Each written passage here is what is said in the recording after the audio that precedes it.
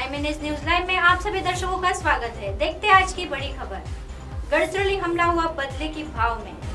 कुरखेड़ा तहसील के जामुलखेड़ा लेंडारी मार्ग पर भूमिगत सुरंग विस्फोट में 15 जवानों के शहीद होने की इस वारदात का सूत्रधार उत्तर गढ़चिरौली डिवीज़न समिति का सचिव भास्कर हिचामी बताया जा रहा है। पता चला है कि भामरागढ़ तहसील के गुंडरवाही जंगल परिसर में 27 अप्रैल को हुई पुलिस नक्सल मुठभेड़ में उसकी पत्नी राम को उर्फ़ कमला नरोट मारी गई थी। इस कारण भास्कर हिचामी ने इस नक्सली विस्फोट को अंजाम देकर पत्नी की मौत का बदला लिए जाने की चर्चा ज़िले में है। नक्सलियों के उत्तर गढ़चिरौली डिविजनल कमेटी का सचिव भास्कर हिचामी एटापल्ली तहसील के झवेली का मूल निवासी है। उसकी पत्नी राम को एटापल्ली तहसील के कोसमी की निवासी थी। दस वर्ष पूर्व ही एक ही दल में कार्यरत होने पर दोनों ने विवाह किया था।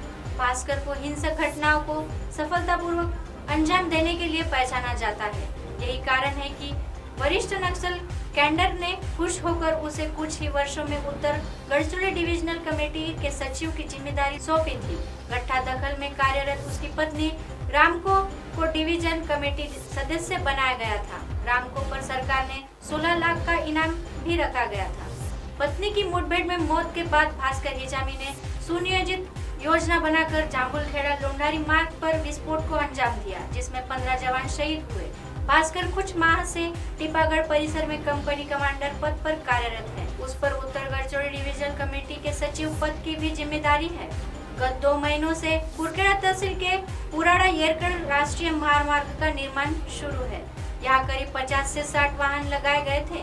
मंगलवार को भास्कर के नेतृत्व में करीब 150 से 200 नक्सलियों ने रात में दादापुर स्थित कंपनी के गिट्टी प्लांट पर चालक और मजदूरों को कब्जे में लेकर 36 वाहनों को आग लगा दी। इसके बाद वे जंगल में चले गए। बड़ी हिंसक घटना के बाद पुराड़ा पुलिस कुरखेड़ा अथवा गढ़चिरौली से जवानों का अतिरिक्त दल बुलाने का अंदाज भास्कर को था, जिसके बाद उसी रात कुरखेड़ा तहसील के जाम्बुल खेड़ा लेंडारी मार्ग पर एक पुलिया के नीचे विस्फोटक लगाया गया। बुधवार की सुबह पुलिया के नज़दीक कुछ नक्सली घात लगाकर बैठ गए। अन्य कुछ नक्सली कुरखेड़ा में पुलिस की गतिविधियों पर नज़र रखे हुए थे। उप विभागीय पुलिस अधिकारी घटना स्थल पर अकेले ही जाने से वे नक्सलियों की नज़र से बच गए। इसके बाद सुबह करीब पौने बारह बजे के निजी पिकअप वाहन से क्यूआरटी से 15 जवान दादापुर के लिए निकले। इसकी भनक नक्सलियों को लगने पर कुरखेड़ा से केवल 6 किलोमीटर पर 10 मिनट में ही उक्त पिकअप वाहन नक्सलियों के निशाने पर आते ही विस्फोट किया गया,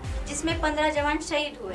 तो चर्चा का विषय बने भास्कर ने इस घटना को अंजाम दिया, ऐसा बताया जा रहा है। तो एमएनएस न्यूज़ लाइव की खबर देखने के लिए आज ही प्ले स्टोर ऐसी एम हिंदी ऐप डाउनलोड करें और हमारे चैनल को सब्सक्राइब करें। धन्यवाद।